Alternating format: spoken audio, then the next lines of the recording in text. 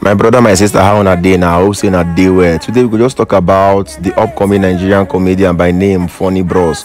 We go just talk one or two about am im family in academics some of the difficulties wey im bin encounter and how god pave way for am through tunde ednut if you are new to my channel kindly subscribe. Omo this very video na to motivate you. No be to put you under pressure you go make money by all means. So onwuka ugochukwu richard popularly known as funny bros this guy was born on the 26th of July 2000. This guy is barely 22 years old. He's an upcoming Nigerian Instagram comedian from Anambra State. Due to where Funny Bros is coming from, when he started becoming popular on Instagram and started making some couple of bucks, many thought this guy did Okite, one of the most renowned Yahoo Yahoo format that people are doing now just to make money. Okite that cost 3 million naira. Guys, are just like every other comedian, the journey of comedy and content creation for Funny Bros hasn't been an easy one. Funny Bros started his content creation journey as far back as July 11, 2019, not long after he lost his beloved mother. Now, the gist now be say people can't talk say Funny Bros use mama take plus up.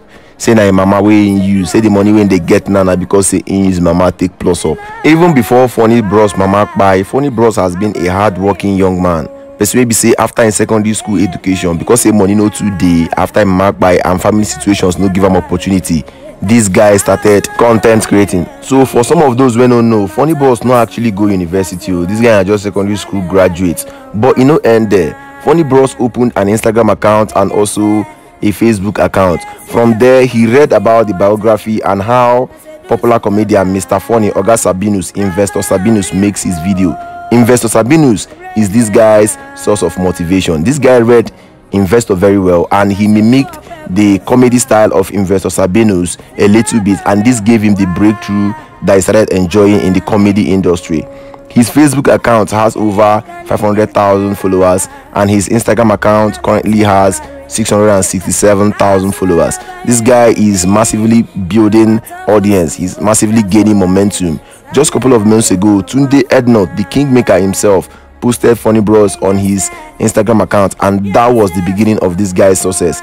From 22,000 followers, Funny Bros skyrocketed to 667,000 followers by the reason of that very post from Tunde Ednut. This guy never really tell us whether in get girlfriend or whether in dey any relationship. Well, I believe he's setting his priorities right. Funny Bros recently bought a Mercedes-Benz GLK 350 that is worth over 10.6 million naira. This guy, many people gonna talk up and down, say this guy do yahoo, say this guy do this, say how this guy could just enter content creating industry and within a couple of months that he just came from nowhere. Person the hustle since 2019 you now we just seeing content talk say he came from nowhere. This guy has been grinding. Do you know how much facebook pays for advertisement pay 1000 views.